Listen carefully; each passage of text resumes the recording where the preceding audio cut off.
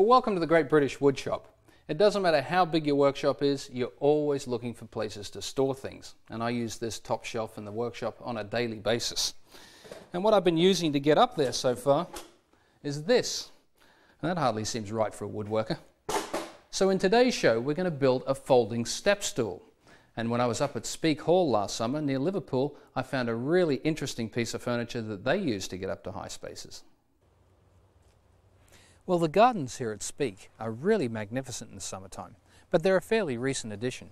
And what I've really brought you here to see is what's inside this a magnificent 500 year old Tudor timber frame building. This is the Great Hall, and it's the oldest part of Speke, completed in 1530 by Edward Norris. It was the centre of activity. Meals were had here, business was conducted, servants even slept on the floor. Over in the corner is a life-size portrait of the Childe of Hale, and he stood nine foot three inches tall. When King James found out about the giant, he sent for him to fight one of his knights. The Childe of Hale was victorious. He broke one of the knight's thumbs, and King James pensioned the knight off at £20 a year. The library was built 10 years after the Great Hall, but it has some modern additions. This wallpaper, for instance, was designed by William Morris, the leader of the arts and crafts movement. Now, how would they have got to the top shelf to get these books? I suppose one way to do it would have been to climb up on top of this end table, but they had a much more elegant solution than that. Have a look at this. I've never seen anything like it. The top section of this table folds down to reveal two steps. Further hidden inside is another extension which in total gives you a six step step ladder. And that's how they got to the top shelf. Well, here's the folding step stool. It's built from solid oak. It stands 600 mil high, which is a good height to climb up to the high spaces and a good height to sit down and have a rest on. Constructed with mortise and tenon joints, and that makes this piece so strong that I'll probably use the pair of these in the workshop as sawhorses. And I'm going to get all the pieces I need out of this one piece of oak. Now let me show you what I do to assess a board before I cut it up. I usually head down to the painted ends, and this paint is put on by the sawmill when they mill up the boards, and it's there to help the timber from drying out too quickly, because this is where timber will split from its end grain. And I had a look at this board, and unfortunately my fears are realized, and I have a split from here to here, and I checked it, and the split goes right through to the other side. So there's no good in me trying to get my top out of this end, but I can get the smaller pieces like the rails and the stretchers out of here, and that will give me plenty of material. Up here in the center, it's fairly clear. And here in this section, I've got a knot and some swirly grain. And you'll notice there's some black marks on here, and this is put on by the timber yard, not by me. When they priced up this board, they've deemed this section here unusable and so they've only charged based on 1.8 metres of usable material. Down this end here, it's completely clear, and so I'll be able to get my top out of this section, and down here I'll get the step, and they're the two bits that I'm going to cut next. Well, next I'm going to trim off this painted end and have a look and see if there's any more splits on there that I need to worry about. And then I'll rough cut for the remaining pieces for the stool. Here are our four legs, rough cut, and the next job is to create a smooth flat face on each of the boards. And to do that, I'm going to use the jointer. Now the first thing I'm looking for is a high point, and I've got one in this board on the center because it's bowed. So what I'll do is I'll flip it over and I'll have a high point then at each end. The other thing I look at is the direction of the grain. Now it's hard to spot on some boards. On this one it's a little more obvious. And you can see here the grain is running in this direction. And a good analogy would be like scales on a fish. As you rub your hand one way, it's smooth, and that's with the grain. As you run it the other way, it's rough, and that's against the grain. And you always want to plane boards in the direction of the grain. Now I'll take that jointed edge and put it up against the fence, and as long as I keep that firmly against the fence as I push it through the jointer, I'll end up with an edge that's at 90 degrees to that face. Next it goes through the thickness planer and I'll reduce the thickness down to 19 mil. Then it's over to the table saw to cut it to the right width and then finally I'll clean up the sawn edge on the jointer. The sides are constructed in an A-frame so it's narrower at the top and wider at the bottom, and that'll give the stool a lot more stability. Now where these rails meet the legs, the shoulders are cut at a 5 degree angle, and I'm going to cut these to length next at the compound miter saw. All the rails have been cut to length with 5 degree angles on both ends, and now I need to add some tenons. And here's a template that I set up before, and you can see how on the ends of the rail the tenons angle upwards at that 5 degree angle and they join into the frame like that. Now let me show you how I'm going to set up the jig to cut those angled tenons.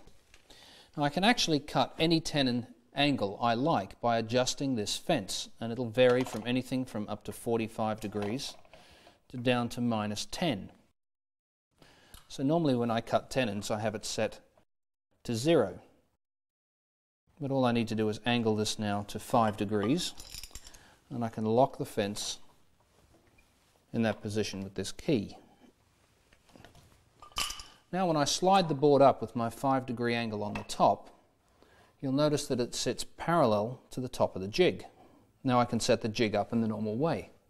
I've drawn my centre line and I've come in and marked a point 5 mil from both ends. That'll give me the length of the tenon. The tenon width is 8 mil now if I look at the guide bush setup here, it says an 8 mil tenon width, I need a 30 mil bush and that's what I've installed in the router. And I've also set the depth of cut to 30 mil because I want a nice long tenon to give us lots of strength in the joint.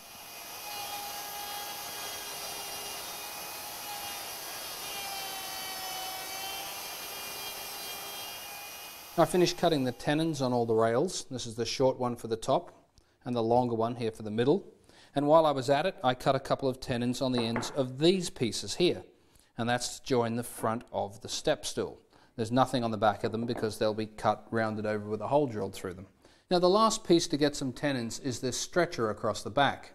In order to do that, I need to make a couple of adjustments on the jig. I'll reset the fence back to zero, and then I'll make an adjustment to the plates so I can center the tenon. I'll also adjust the depth of cut in the router to give me a 10 mil deep tenon. And the mortise needs to start 2 millimeters up from the reference point we just marked. And that's the distance between the edge of the tenon and the edge of the board. That's that distance there. So I'll put a mark there and draw a line across all four boards. The length of the tenon is 40 mil, so I'll measure up 40 mil from that previous line and then draw a line across all four boards and then I'll remove the material between those two lines to create the mortise.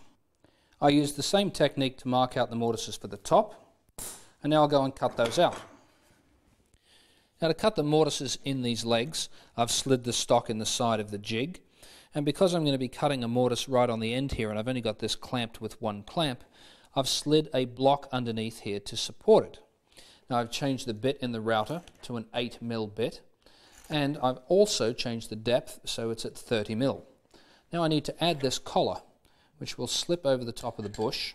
That increases the diameter of the bush from 30 to 54 mil. And this bush will ride in the opening and it will not allow for any sideways movement. It'll only be able to travel backwards and forwards. Now to cut the next mortise, I'll just reposition the stock using the setup bar. I'll clamp it in place and I'll do the same with the other three legs and the two short legs that support the step. Now these stools are going to get dragged around the workshop quite a bit and it's probably going to chip the bottom of the legs. So a good way to try and reduce that is to chamfer the bottom of all four sides on all four legs. And I'll do that here at the sanding station. Well, it's time for the A-frames to get glued up. And I'm just going to stick a little glue on the tenons. Now these joints are so tight that I'm not even going to worry about putting any in the mortise. There'll be enough glue on here to hold it in place. And goes in. These ones can slip on.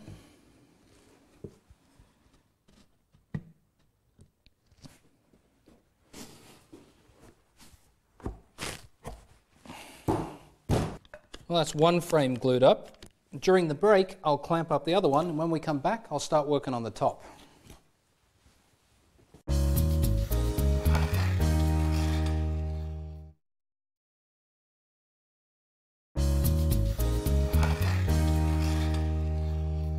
Well, welcome back to the Great British Woodshop. Today we're building a step stool made from solid oak. Handy in the kitchen and handy here in the workshop. And when I'm finished the second one, I'll double these as sawhorses.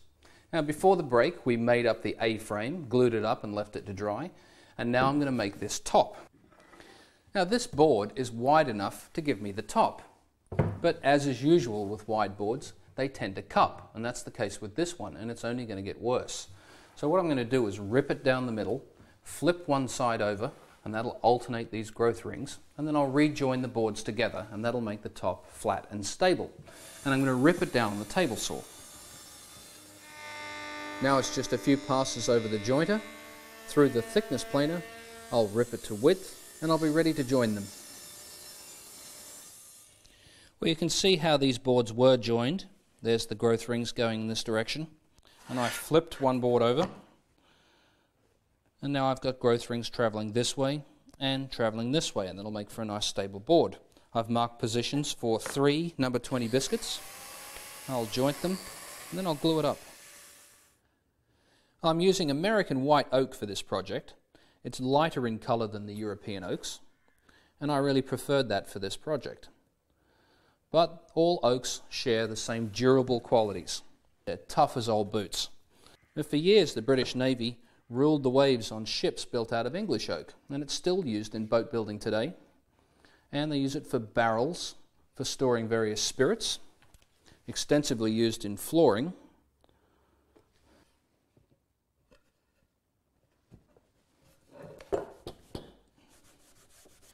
The A-frames are ready to receive mortises for this stretcher, and the stretcher sits at a 5 degree angle that keeps it parallel with the rest of the stool. Now the stretch is there to add some lateral support. It'll stop the whole stool from tipping side to side. So I've marked out the position here on the A-frame of where the stretcher will sit. And it's going to sit parallel with this rail. The length of the tenon is 5 mil in from both sides. So I'll just make a mark at that point. And I've set my bevel gauge up to 5 degrees and I'll draw two indicator lines which will give me a position to start and stop the cut. And I can achieve that 5 degree angle simply by setting my fence up against the side of the stool and then as I run it down it'll keep that cut parallel to this face. Well the support for the step is made up from more of these mortise and tenon joints and that sits like that. Now I'm going to cut this off and round it over a little bit later. And that'll be so we get a little bit softer edge here. And the next thing I need to do is to drill some holes. One for this dowel that serves as the front stretcher for the stool and also as a pivot point for the step. And I also need to drill some clearance holes for these screws and they're going to go all the way through the rails and those screws will be used to attach the step to the rail. I also want to drill some holes that only go part way through in the legs of the step. And that's for this front stretcher that'll support and keep these legs apart. And I'm going to do all of that over at the drill press. The first holes that get drilled are in the step support rails. And those holes go all the way through and I'll pass the dowel through those and into the A-frame. They'll get drilled out with a 20mm Forstner bit. Those 20mm holes in the step support rails will allow the step to pivot freely around this 19mm dowel. But the dowel between the legs is structural, and I want that to fit into the legs snugly. So I'll drill those with a 19mm Forstner bit. I've adjusted the stop on the drill press so that it'll only allow the bit to go down 10 mil, and now I can drill those stopped holes. To mark the position for the hole in the A-frame, where the dowel will go that will pivot this step assembly, I've measured up 245 mil, which is the center of this rail, and I've measured in 25 mil, which is the center of the leg. And at that point there, I'm going to drill a hole 14 mil deep, still with the 19 mil Forstner bit installed in the drill press. The clearance holes in the step support rail are drilled with a 5 mil brad point bit, and I'll also countersink these holes so the screw heads can sit flush. Well now I'll trim these pieces to length at a 5 degree angle on the compound miter saw and then I'll add that little rounded over detail on the bottom at the sanding station and then I'll glue it up. Now while those dry, I'll go make some dowels. Now I need to make two bits of dowel and I'm starting with some 19mm square stock. I milled this up in the usual way and I've got a rounding over bit or an ovolo cutter as it's called installed in the router table and I've set it up so that the bearing is exactly in line with the fence and I've set the height of the cutter so that it just goes past the center of the stock and that'll give me a quadrant on this corner. And what I'm going to do is push it onto the bit push it through to the other side and stop, leaving a little bit of material at both ends. Then I'll rotate the board around, push it back onto the cutter, push it through to the other end, and then I'll repeat that on all four sides. When I'm finished, I'll have a dowel in the center, and then I'll just be able to trim off the square bits at the end. Now the top gets attached to these two stretchers with some screws but I need to bevel the front edge of both stretchers at a 5 degree angle, and that's to match the angle that the leg meets the top. I've set the fence to 5 degrees, and a couple of passes over the jointer will give me that bevel. Well, I've dry assembled the stool and held it fairly securely while I positioned the two stretchers. I wanted to line up the bevel exactly with the edge on the leg. And now I'm going to drill some pilot holes for some number 8 screws that I'll use to attach the stretcher to the leg. Now I don't want to see the heads of these screws once I've driven them in, so I'm going to cut a recess for the screw head and fill it in with an oak plug. And to do that I'm using a plug cutting set. Now this bit will enlarge the pilot hole, so I'll have a clearance hole and the screw will pass all the way through that without engaging the thread in the leg. And the top section of the cutter here will cut a recess for the plug. And I've set the depth on the drill press so that the recess will be about halfway down.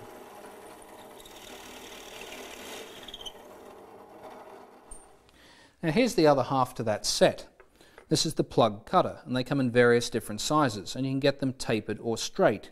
The tapered plug cutter creates a plug that gets tighter and tighter as you knock it into the hole. And this one here is just a straight cutter. And it cuts a circle and leaves a plug in the center. As the step pivots, the legs on the step need to stay clear of the legs on the stool.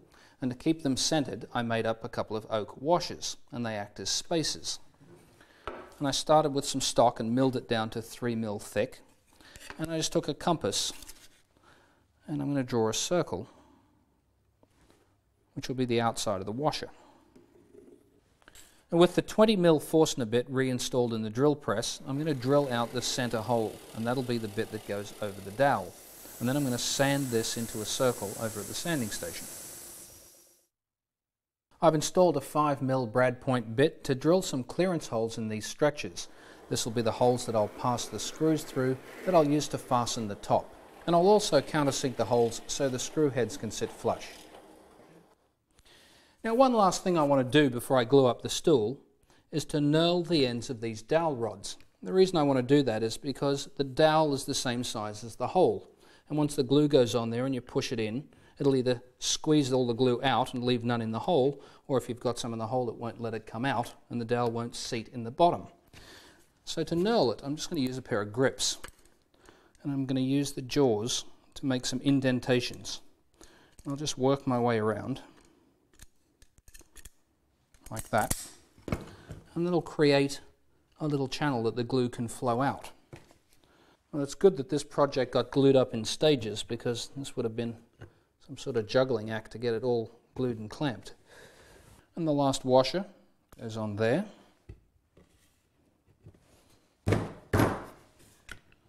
I'm also going to slip in this little spacer block at the back here, and that's just to keep the two support rails for the step parallel as that glue sets up. I'm just holding the stretchers in place while I put those screws in into those pilot holes that we drilled earlier.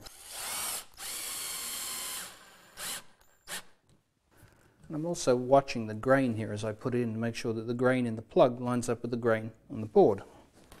That'll help disguise it even more. Well, the top's had plenty of time to dry. And I'll just give it a sanding with some 120 grit paper, and then I'll cut it to its final dimensions. One pass over the jointer cleaned up that sawn edge.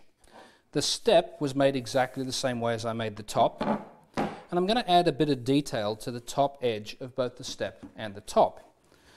And that's created with an ovolo cutter. And I've set the surface of the cutter just below the top. And that'll accentuate the end grain and it'll just give this top a bit of a raised look. Well, I've given the legs and the stretches and the rails a hand sanding just to remove any sharp edges. And I'm going to trim these plugs. And I'm going to use this saw. Now normally with saws the teeth are offset either side of the saw. With this one they sit flat with the body of the blade.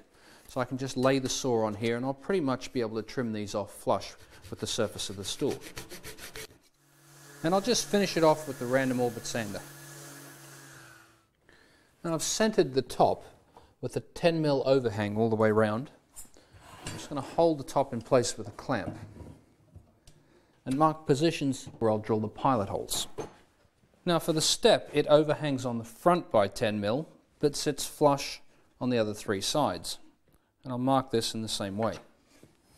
A little bit of tape on the drill bit to help me set the depth of the hole, and the square to help me keep the drill at 90 degrees. The top gets attached with some inch and a quarter number 10 screws, and the step gets attached with some two and a half inch number 10 screws. Well, the finish I've decided to put on this project is a water-based satin varnish. And that's because I want the finish to be as durable as the oak that's underneath it. I gave the whole piece a thorough vacuuming and I'll give it a wipe over with a tack cloth as well because particularly with varnish finishes, any dust that's left on the piece will spoil it. Now the thing I like about water-based varnishes is that they dry quickly. This will be touch dry in about 20 minutes and it's recoatable in a couple of hours. And of course the other beauty is that with a water-based finish the brushes get cleaned up with water. I'm not going to apply too heavy a coat to this and when this stuff comes out of the can it's milky but when it goes on it's going to be completely clear.